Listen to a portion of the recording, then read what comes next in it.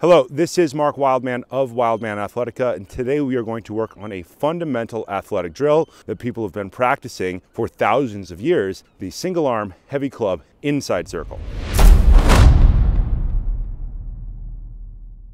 When we start with a heavy club, we usually start with two hands on the club. We work on swinging laterally because clubs do this better than any other type of athletic equipment. Then we will take away one hand and we will work on swinging with just one hand. That changes the way our core fires. It changes our base of support. It changes the way our hips fire.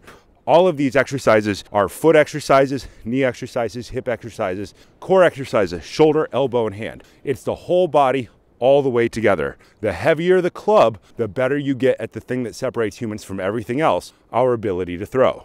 We always check when we start an exercise that we are swinging perfectly laterally from side to side. In the beginning, if people are not used to this, they will start to swing in these weird lines around their body.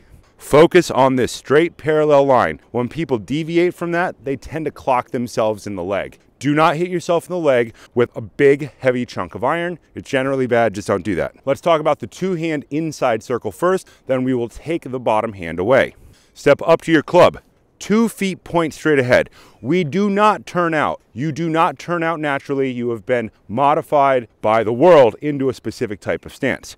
Point your feet straight ahead. If your feet move when you're doing this, reset them every time when you change hands two thumbs point towards the sky. Stack your hands on top of each other. Pick the club up without hitting yourself in the teeth. This is your order position. This is important. Your arm is parallel to the ground 90 degrees. If your hand is too high and you see this finger sticking out in any weird way, lower your hand down until you can close your hand all the way. Inside means your top hand moves towards your center line.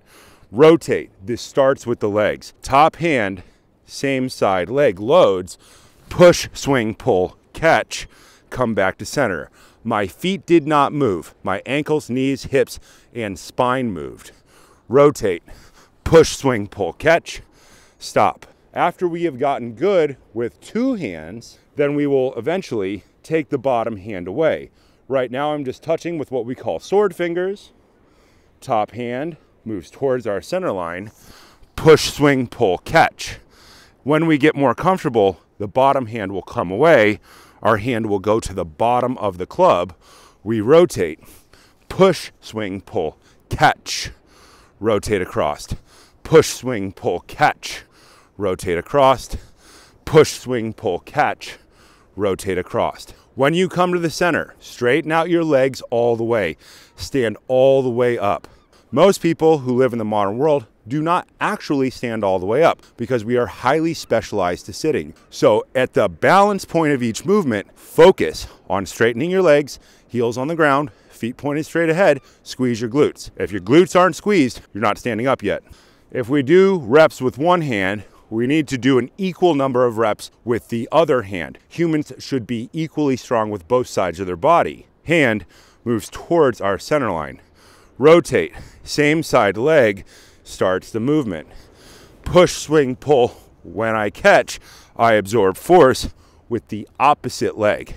Stand all the way up, come back to center. Rotate across. Push, swing, pull, catch. Come across. Push, swing, pull, catch. Stand up. Rotate across. Push, swing, pull, catch. Stand up. Rotate across.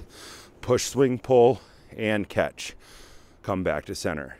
This movement is important because it is what you might think of as the origin of a cross in martial arts, rotating across your body. It is the same base movement you would have in any throwing sport baseball, throwing across, football, throwing across. You can start with a lightweight, learn to stabilize your spine, and build up to a heavier and heavier weight over time. The goal is for men to build up towards at least a 30 pound club with one hand movement. In order to get there, athletes should run a two handed program with five weights. Think of club swinging like Neolithic Olympic lifting. Long before there were barbells, people were swinging clubs to develop the movement patterns that they needed to survive. we should go back to working on all of those patterns. The world does not operate in straight lines up and down. Everything out in the world is some type of rotation. Heavy club swinging is the way that you train rotation. Clubs don't go bad, they're cheap, they're effective, they're portable, and they do exactly what humans need to do. They are levers, and you learn to swing them to eventually improve all of your throwing patterns.